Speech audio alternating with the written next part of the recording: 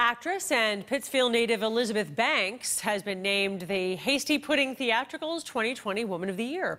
The country's oldest theatrical organization is based in Cambridge, and it cites Banks' lasting impression on the entertainment world as an Emmy nominated actor, producer, writer, and director. Banks will be honored in Cambridge on January 31st.